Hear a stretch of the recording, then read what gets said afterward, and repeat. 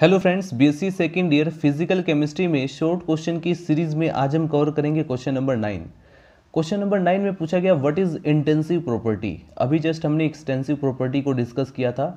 अब हम डिस्कस करें व्हाट इज़ इंटेंसिव प्रॉपर्टी जो कि एग्ज़ाम पेपर में शॉर्ट क्वेश्चन में आपसे पूछा जाता है। तो इंटेंसिव प्रॉपर्टी को आप कैसे डिफाइन करेंगे?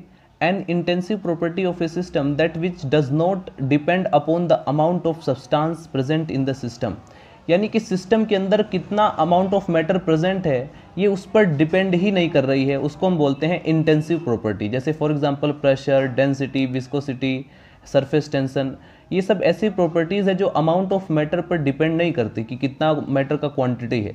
तो इसको हम क्या कहेंगे? इंटेंसिव प्रॉपर्टी राइट तो इसको आप इस तरह से डिफाइन कर सकते हैं। बस आपको मेन पॉइंट क्या याद रखना है? एक्सटेंसिव प्रॉपर्टी एक ऐसी प्रॉपर्टी है जो अमाउंट ऑफ़ मैटर पर डिपेंड करती है। इंटेंसिव प्रॉपर्टी एक ऐसी प्रॉपर्टी है जो अमाउंट ऑफ़ मैटर पर डिपेंड नहीं करती। और इससे रिलेटेड कई सारे एम एग्ज़ाम पेपर में बनाए जाते हैं तो आपको ध्यान रखना है।